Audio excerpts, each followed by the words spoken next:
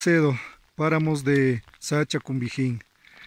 Fue importante la, desde la madrugada la caída de bastante nieve, lo que ha convertido en un paraje, en un paisaje invernal, muy similar a los siberianos, a Alaska, pero este es un, un paisaje, un invierno con nieve acá en los Yanganates.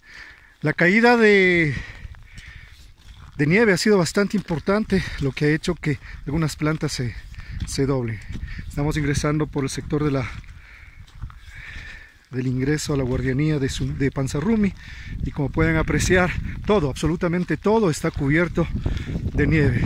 Un comportamiento anómalo bastante importante porque esto se daba en el mes de junio y hoy esto se ha visto con gran intensidad en este, en este mes de julio.